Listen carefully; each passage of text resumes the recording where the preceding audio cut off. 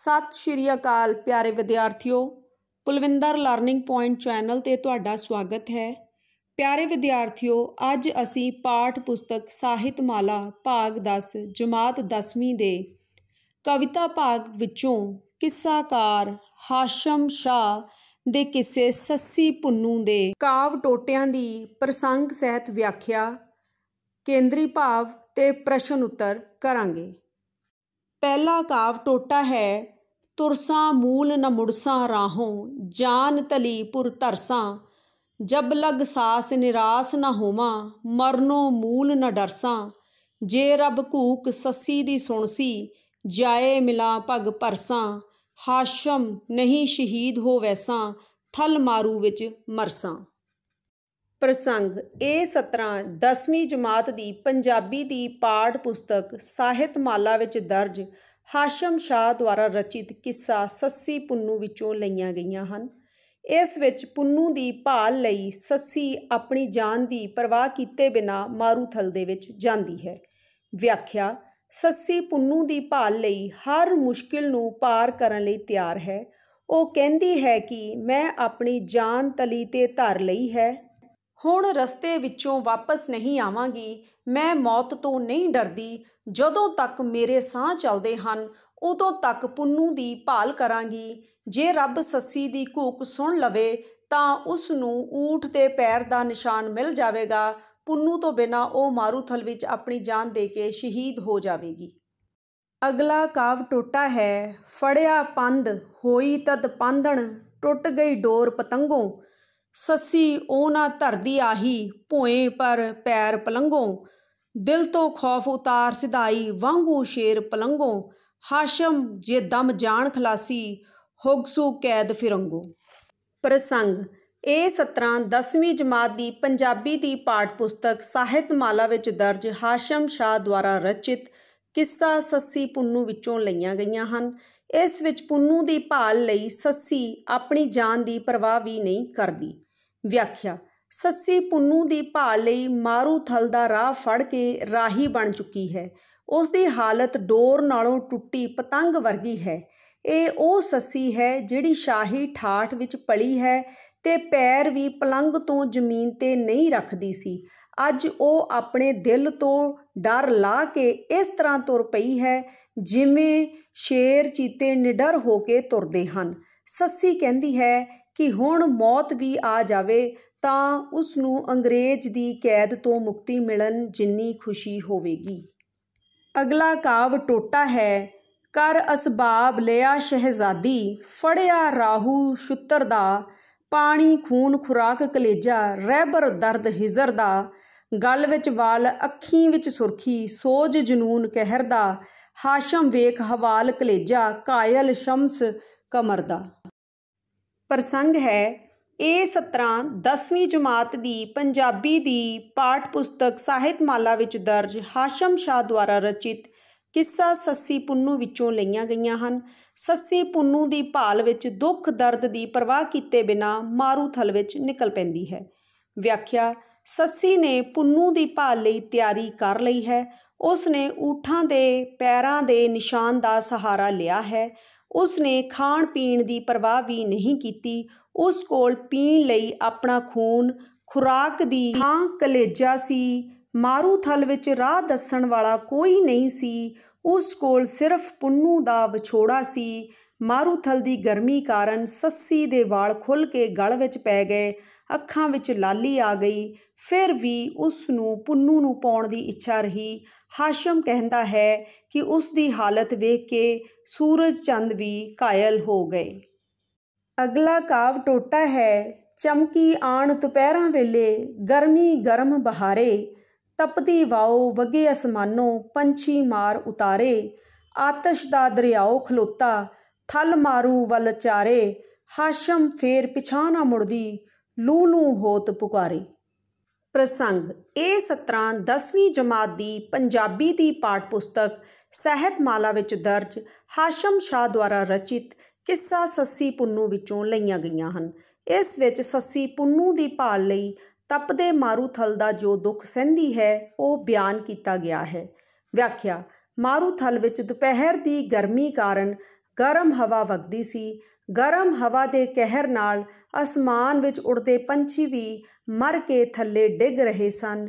ਚਾਰੇ ਪਾਸੇ ਮਾਰੂਥਲ ਇੱਕ ਅੱਗ ਦੇ ਦਰਿਆ ਵਾਂਗ ਸੀ ਜਿਸ ਨੂੰ ਉਸਨੇ ਪਾਰ ਕਰਨਾ ਸੀ। ਇਸ ਦਰਦ ਵਿੱਚ ਵੀ ਸੱਸੀ ਪਿਛਾਂ ਮੁੜਨ ਲਈ ਤਿਆਰ ਨਹੀਂ ਸੀ। ਉਸ ਦਾ ਰੋਮ ਰੋਮ ਪੁੰਨੂ ਦੀ ਪੁਕਾਰ ਕਰ ਰਿਹਾ ਸੀ ਤੇ ਉਹ ਪੁੰਨੂ ਨੂੰ ਪਾਉਣਾ ਚਾਹੁੰਦੀ ਸੀ। ਅਗਲਾ ਕਾਵ ਟੋਟਾ ਹੈ ਨਾਜ਼ੁਕ ਪੈਰ ਮਲੂਕ ਸੱਸੀ ਦੇ ਮਹਿੰਦੀ ਨਾਲ ਸ਼ਿੰਗਾਰੇ। ਆਸ਼ਕ ਵੇਖ ਬਹਿ ਇੱਕ ਵਾਰੀ ਜੂ ਤਿੰਨਾ ਪਰਵਾਰੇ। ਬਾਲੂ ਰੇਤ ਤਪੇ ਵਿੱਚ ਥਲਦੇ ਜੋ ਭੁੰਨਣ ਪਠਿਆਰੇ। ਹਾਸ਼ਮ ਵੇਖ ਯਕੀਨ ਸੱਸੀ ਦਾ, ਫੇਰ ਨਹੀਂ ਦਿਲਹਾਰੇ ਪ੍ਰਸੰਗ, ਇਹ ਸਤਰਾਂ 10ਵੀਂ ਜਮਾਤ ਦੀ ਪੰਜਾਬੀ ਦੀ ਪਾਠ ਪੁਸਤਕ ਸਾਹਿਤਮਾਲਾ ਵਿੱਚ ਦਰਜ ਹਾਸ਼ਮ ਸ਼ਾਹ ਦੁਆਰਾ ਰਚਿਤ ਕਿੱਸਾ ਸੱਸੀ ਪੁੰਨੂ ਵਿੱਚੋਂ ਲਈਆਂ ਗਈਆਂ ਹਨ। ਇਸ ਵਿੱਚ ਸੱਸੀ ਦੀ ਖੂਬਸੂਰਤੀ ਤੇ ਹਿੰਮਤ ਦੀ ਗੱਲ ਕੀਤੀ ਗਈ ਹੈ।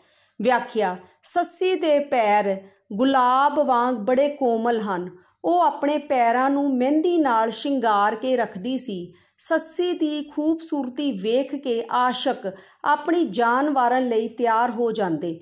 ਮਾਰੂਥਲ ਦੀ ਰੇਤ ਇਸ ਤਰ੍ਹਾਂ ਤਪ ਰਹੀ ਸੀ ਜਿਵੇਂ ਜੌਂ ਭੰਨਣ ਵਾਲੇ ਪਠਿਆਰੇ ਦੀ ਕੜਾਹੀ ਵਿੱਚ ਰੇਤ ਤਪਦੀ ਹੋਵੇ। ਇਸ ਤਰ੍ਹਾਂ ਦੀ ਰੇਤ ਤੇ ਸੱਸੀ ਦਿਲ ਹਾਰੇ ਬਿਨਾ ਯਕੀਨ ਨਾਲ ਪੁੰਨੂ ਦੀ ਭਾਲ ਲਈ ਤੁਰ ਰਹੀ ਸੀ। ਅਗਲਾ ਕਾਵ ਟੋਟਾ ਹੈ, ਦਿਲ ਵਿੱਚ ਤਪਸ਼ ਥਲਾਂ ਦੀ ਗਰਮੀ, ਆਣ ਫਿਰਾਕ ਰੰਝਾਣੀ। ਕਿਚਰਕ ਨੈਣ ਦੇਣ ਦਿਲ ਬਰੀਆਂ ਚੋਣ ਲਬਾਂ ਵਿੱਚ ਪਾਣੀ। ਫਿਰ ਫਿਰ ਡਾਡ ਕਰੇ ਹਠ ਦਿਲ ਦਾ, ਪਰ ਜਦ ਬਹੁਤ ਵਿਹਾਣੀ, ਹਾਸ਼ਮ ਯਾਦ ਪੰਬੋਰ ਪਈਓ ਸੂ। ਟੁੱਟ ਗਿਆ ਮਾਣ ਨਿਮਾਣੀ। ਪ੍ਰਸੰਗ ਹੈ, ਇਹ ਸਤਰਾਂ 10ਵੀਂ ਜਮਾਤ ਦੀ ਪੰਜਾਬੀ ਦੀ ਪਾਠ ਪੁਸਤਕ ਸਾਹਿਤਮਾਲਾ ਦੇ ਵਿੱਚ ਦਰਜ ਹਾਸ਼ਮ ਸ਼ਾਹ ਦੁਆਰਾ ਰਚਿਤ ਕਿੱਸਾ ਸੱਸੀ ਪੁੰਨੂ ਵਿੱਚੋਂ ਲਈਆਂ ਗਈਆਂ ਹਨ। ਇਸ ਵਿੱਚ ਸੱਸੀ ਦੀ ਦਰਦ ਭਰੀ ਹਾਲਤ ਨੂੰ ਦਿਖਾਇਆ ਗਿਆ ਹੈ। ਵਿਆਖਿਆ, ਮਾਰੂਥਲ ਦੀ ਗਰਮੀ ਤੇ ਸੱਸੀ ਦੇ ਦਿਲ ਵਿੱਚ ਪੁੰਨੂ ਦੇ ਵਿਛੋੜੇ ਦੀ ਗਰਮੀ, ਇਸ ਦਰਦ ਭਰੀ ਹਾਲਤ ਨੂੰ ਹੋਰ ਖਰਾਬ ਕਰ ਰਹੀ ਸੀ। ਉਸ ਦੇ ਨੈਣ ਕਿੰਨਾ ਚਿਰ ਸਾਥ ਦਿੰਦੇ? ਉਹ ਵੀ ਪਾਣੀ ਬਣ ਬਣ ਕੇ ਬੁੱਲਾਂ ਤੇ ਚੋ ਰਹੇ ਸੀ। ਫਿਰ ਪੁੰਨੂ ਦੀ ਯਾਦ ਦਾ ਜ਼ੋਰ ਪਵੇ ਤੇ ਉਸ ਦਾ ਦਿਲ ਪੁੰਨੂ ਨੂੰ ਮਿਲਣ ਦੀ ਜ਼ਿੱਦ ਕਰੇ। ਜਦੋਂ ਉਸ ਦੇ ਦੁੱਖਾਂ ਦੀ ਅਤ ਹੋ ਗਈ ਤਾਂ ਉਸ ਨੂੰ ਆਪਣਾ ਸ਼ਹਿਰ ਪੰਭੋਰ ਯਾਦ ਆਉਣ ਲੱਗਾ, ਜਿੱਥੋਂ ਦੀ ਉਹ ਸ਼ਹਿਜ਼ਾਦੀ ਸੀ। ਉਹ ਬੜੀ ਮਾਣ ਨਾਲ ਪੁੰਨੂ ਨੂੰ ਭਾਲਣ ਨਿਕਲੀ ਸੀ, ਪਰ ਹੁਣ ਉਸ ਵਿਚਾਰੀ ਦਾ ਮਾਣ ਟੁੱਟਦਾ ਪ੍ਰਤੀਤ ਹੋ ਰਿਹਾ ਸੀ। ਅਗਲਾ ਕਾਵ ਟੋਟਾ ਹੈ। ਜੇ ਜਾਣਾ ਛੱਡ ਜਾਣ ਸੁੱਤੀ ਨੂੰ, ਇੱਕ ਪਲ ਪਲਕ ਨ ਝਮਕਾ। ਗਰਦ ਹੋਏ ਵਿੱਚ ਗਰਦ ਥਲਾਂ ਦੀ ਵਾਂਗ ਜਵਾਹਰ ਦਮਕਾ। ਜਲ ਵਾਂਗੁਰ ਰੁੱਲ ਦੇਣ ਦਿਖਾਈ ਥਲ ਮਾਰੂ ਦੀਆਂ ਚਮਕਾਂ। ਹਾਸ਼ਮ ਕੌਣ ਸੱਸੀ ਬਿਨ ਵੇਖੇ, ਏਸ਼ ਇਸ਼ਕ ਦੀਆਂ ਰਮਕਾਂ। ਪ੍ਰਸੰਗ ਇਹ ਸਤਰਾਂ 10ਵੀਂ ਜਮਾਤ ਦੀ ਪੰਜਾਬੀ ਦੀ ਪਾਠ ਪੁਸਤਕ ਸਾਹਿਤਮਾਲਾ ਵਿੱਚ ਦਰਜ ਹਾਸ਼ਮ ਸ਼ਾਹ ਦੁਆਰਾ ਰਚਿਤ ਕਿੱਸਾ ਸੱਸੀ ਪੁੰਨੂ ਵਿੱਚੋਂ ਲਈਆਂ ਗਈਆਂ ਹਨ। ਇਸ ਵਿੱਚ ਪੁੰਨੂ ਦੀ ਭਾਲ ਲਈ ਨਿਕਲੀ ਸੱਸੀ ਦੀ ਹਾਲਤ ਬਹੁਤ ਖਰਾਬ ਦਿਖਾਈ ਗਈ ਹੈ।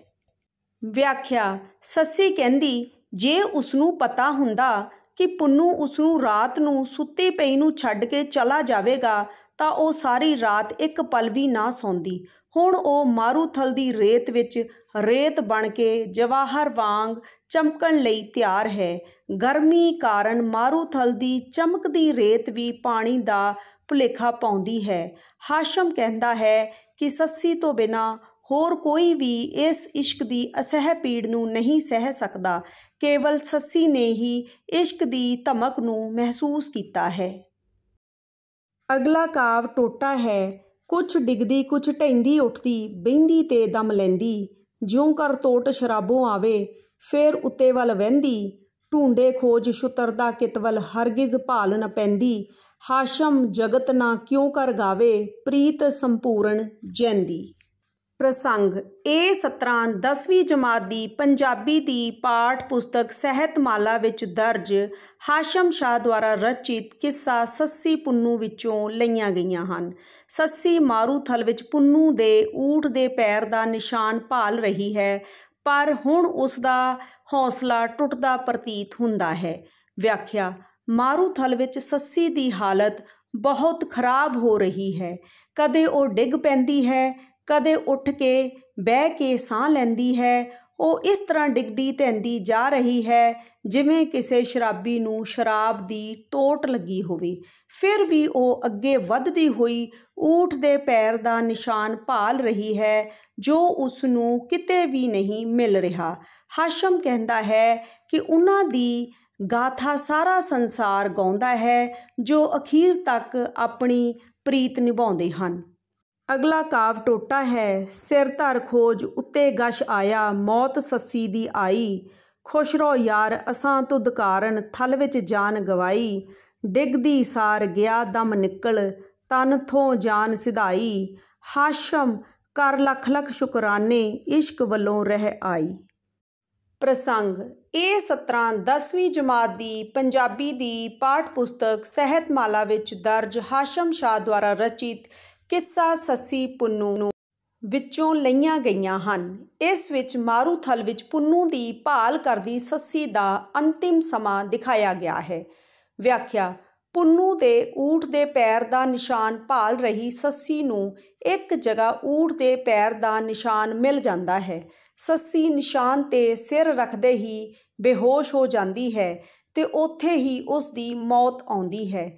ਇਸ ਤਰ੍ਹਾਂ ਲੱਗਦਾ, ਜਿਵੇਂ ਕਹਿ ਰਹੀ ਹੋਵੇ, ਪੁੰਨੂ ਹਮੇਸ਼ਾ ਖੁਸ਼ ਰਹੋ। ਮੈਂ ਤੇਰੇ ਕਾਰਨ ਮਾਰੂਥਲ ਵਿੱਚ ਜਾਨ ਗਵਾਈ ਹੈ। ਡਿੱਗਦੇ ਸਾਰ ਹੀ ਸੱਸੀ ਦੀ ਜਾਨ ਉਸ ਦੇ ਸਰੀਰ ਵਿੱਚੋਂ ਨਿਕਲ ਗਈ। ਹਾਸ਼ਮ ਲਿਖਦਾ ਹੈ ਕਿ ਸੱਸੀ ਰੱਬ ਦਾ ਧੰਨਵਾਦ ਕਰਦੀ ਹੈ ਕਿ ਉਸ ਨੇ ਆਪਣੇ ਪਿਆਰ ਨੂੰ ਆਖਰੀ ਸਾਹਾਂ ਤੱਕ ਨਿਭਾਇਆ। ਪਿਆਰੇ ਵਿਦਿਆਰਥੀਓ, ਹੁਣ ਅਸੀਂ ਕਿੱਸਾ ਸੱਸੀ ਪੁੰਨੂ ਦਾ ਕੇਂਦਰੀ ਭਾਵ ਕਰਾਂਗੇ। ਇਸ ਦਾ ਕੇਂਦਰੀ ਭਾਵ ਹੈ, ਸੱਸੀ ਪੁੰਨੂ ਕਿੱਸਾ ਹਾਸ਼ਮ ਸ਼ਾਹ ਦੁਆਰਾ ਲਿਖਿਆ ਗਿਆ ਹੈ। ਇਸ ਵਿੱਚ ਸੱਸੀ ਨੇ ਪੁੰਨੂ ਦੀ ਭਾਲ ਲਈ ਆਪਣੇ ਸਾਰੇ ਸੁੱਖ ਆਰਾਮ ਤਿਆਗ ਦਿੱਤੇ। ਉਸ ਨੇ ਆਪਣੇ ਪਿਆਰ ਪੁੰਨੂ ਲਈ ਤਪਦੇ ਮਾਰੂਥਲ ਵਿੱਚ ਆਪਣੀ ਜਾਨ ਕੁਰਬਾਨ ਕਰ ਦਿੱਤੀ ਸੀ। ਪਿਆਰੇ ਵਿਦਿਆਰਥੀਓ, ਹੁਣ ਅਸੀਂ ਵਸਤੂਨਿਸ਼ਟ ਪ੍ਰਸ਼ਨ ਕਰਾਂਗੇ। ਪਹਿਲਾ ਪ੍ਰਸ਼ਨ ਹੈ, ਕਿੱਸਾ ਸੱਸੀ ਪੁੰਨੂ ਕਿਸ ਦੀ ਰਚਨਾ ਹੈ? ਉੱਤਰ, ਹਾਸ਼ਮ ਸ਼ਾਹ ਦੀ। ਪ੍ਰਸ਼ਨ ਹਾਸ਼ਮ ਨੇ ਕਿਸ ਨੂੰ ਆਤਸ਼ ਦਾ ਦਰਿਆ ਕਿਹਾ ਹੈ? ਉੱਤਰ, ਤਪਦੇ ਮਾਰੂਥਲ ਨੂੰ। ਪ੍ਰਸ਼ਨ, ਸੱਸੀ ਨੇ ਪੈਰਾਂ ਦਾ ਸ਼ਿੰਗਾਰ ਕਿਸ ਨਾਲ ਕੀਤਾ ਹੋਇਆ ਸੀ? ਉੱਤਰ, ਮਹਿੰਦੀ ਨਾਲ। ਅਗਲਾ ਪ੍ਰਸ਼ਨ ਹੈ, ਸੱਸੀ ਪੁੰਨੂ ਕਿੱਸੇ ਵਿੱਚ ਕਿਸ ਸ਼ਹਿਰ ਦਾ ਜ਼ਿਕਰ ਹੋਇਆ ਹੈ? ਉੱਤਰ, ਪੰਬੋਰ। ਅਗਲਾ ਪ੍ਰਸ਼ਨ ਹੈ, ਕੌਣ ਜਾਨ ਤਲੀ ਤੇ ਧਰ ਕੇ ਮਾਰੂਥਲ ਜਾਂਦਾ ਹੈ? ਉੱਤਰ, ਸੱਸੀ। ਅਗਲਾ ਪ੍ਰਸ਼ਨ ਹੈ ਸੱਸੀ ਮਾਰੂਥਲ ਵਿੱਚ ਕਿਸ ਦੇ ਪੈਰਾਂ ਦਾ ਨਿਸ਼ਾਨ ਭਾਲ ਰਹੀ ਹੈ? ਉੱਤਰ ਊਠ ਦੇ। ਅਗਲਾ ਪ੍ਰਸ਼ਨ ਹੈ, ਕੌਣ ਸੱਸੀ ਨੂੰ ਸੁੱਤੀ ਪਈ ਨੂੰ ਛੱਡ ਕੇ ਚਲਾ ਜਾਂਦਾ ਹੈ? ਉੱਤਰ ਪੁੰਨੂ। ਸੋ ਪਿਆਰੇ ਵਿਦਿਆਰਥੀਓ, ਇਹ ਸੀ ਹਾਸ਼ਮ ਸ਼ਾਹ ਦਾ ਕਿੱਸਾ ਸੱਸੀ ਪੁੰਨੂ। ਜੇਕਰ ਤੁਹਾਨੂੰ ਸਾਡੀ ਵੀਡੀਓ ਚੰਗੀ ਲੱਗੀ ਤੇ ਤੁਸੀਂ ਸਾਡੇ ਚੈਨਲ ਤੇ ਨਵੇਂ ਹੋ, ਤਾਂ ਪਲੀਜ਼ ਚੈਨਲ ਨੂੰ ਲਾਈਕ ਸ਼ੇਅਰ ਤੇ ਸਬਸਕ੍ਰਾਈਬ ਜ਼ਰੂਰ ਕਰਨਾ। ਧੰਨਵਾਦ।